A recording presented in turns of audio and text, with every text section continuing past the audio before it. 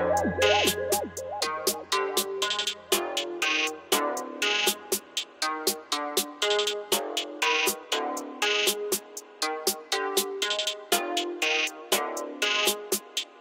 real motherfucking